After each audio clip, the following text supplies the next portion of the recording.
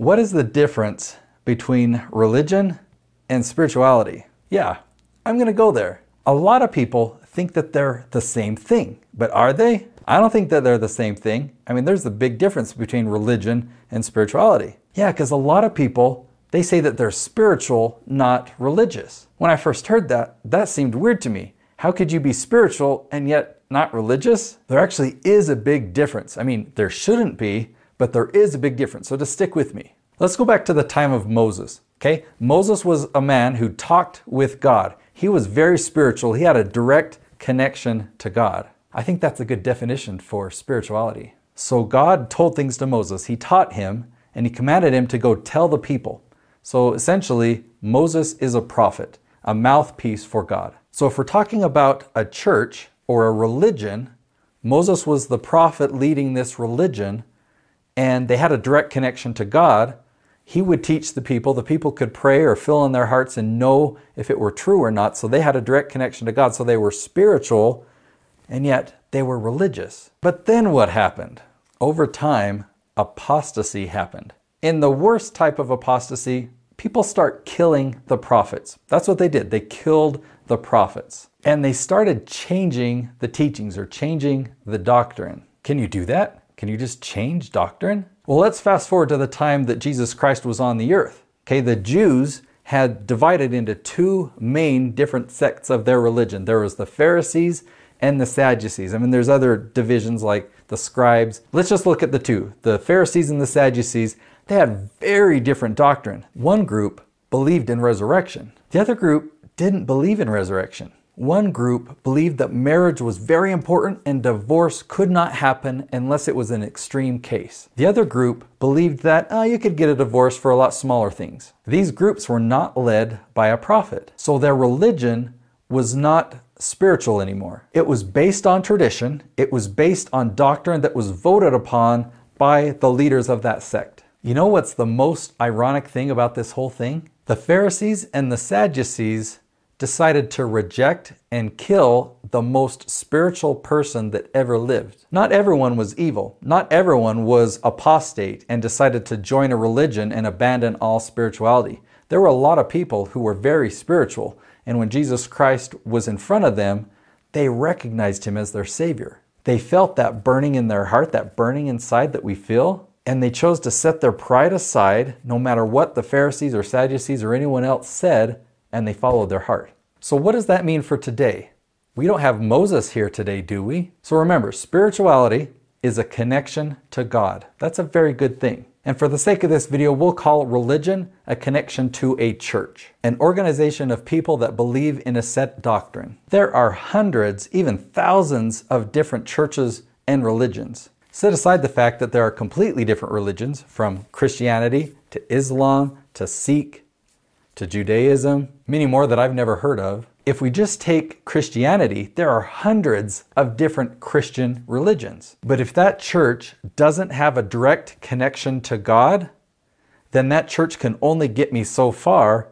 And for me to have a direct connection to God, for me to be spiritual, I have to go the rest away myself. So I can understand why today there is such a big separation by people who want to be spiritual and they call themselves spiritual, but not religious. But there are so many churches or so many religions that are not fully spiritual. I know I'm going to get flack for this one.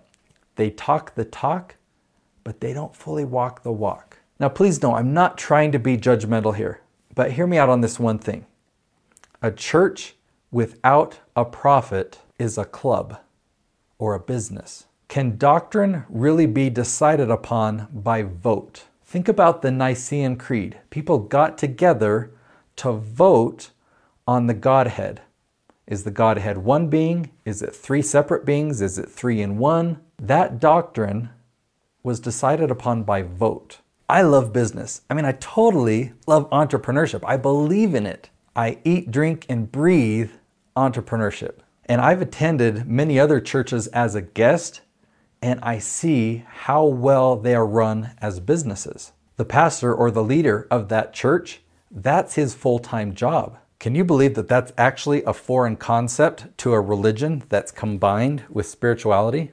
In the scriptures, a lot of times this is referred to as priestcraft. you're preaching the gospel and supposedly leading people to God for money. People pay you to be forgiven.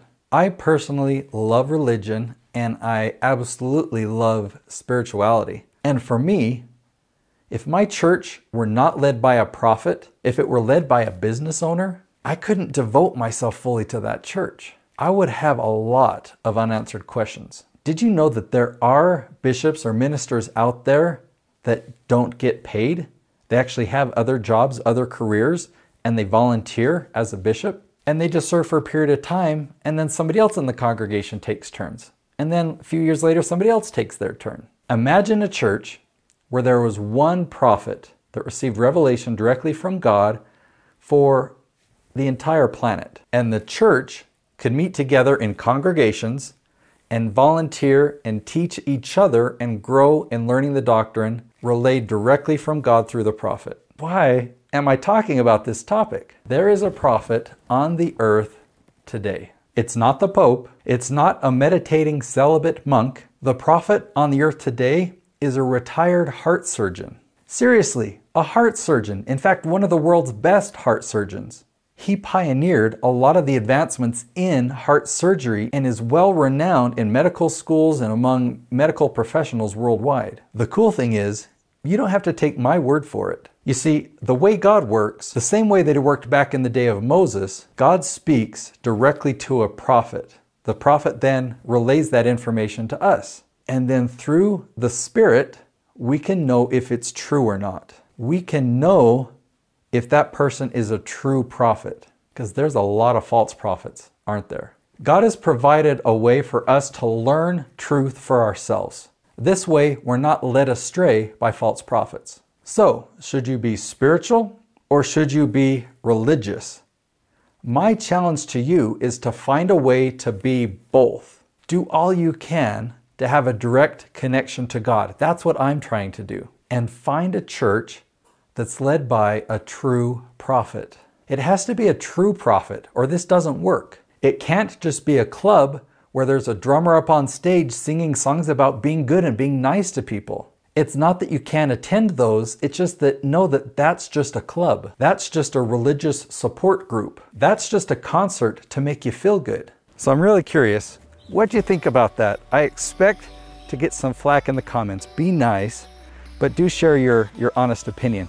I've been wanting to film this episode for a long time, and we finished filming, full day of, of filming today with one of my clients here at this cabin, and I just felt, you know what? Now's the time to film this video. I'm obviously very biased. I have my opinions, and you don't have to believe my opinions, but I have two hopes. My first hope is that my logic and reasoning might have pricked something in your brain to at least think about what I suggested. My other hope is that your heart was pricked, that you were touched, and that you sincerely want to know is there really a prophet on the earth today? This isn't my typical video. Um, I typically talk about YouTube, marketing, entrepreneurship, influence. Uh, and so I'm going to ask you to subscribe if you want more topics like that. If you do want more religion type topics, go ahead and comment below. Let me know what questions you have for me, and I'll consider making videos about those too. Anyway, we'll see you tomorrow.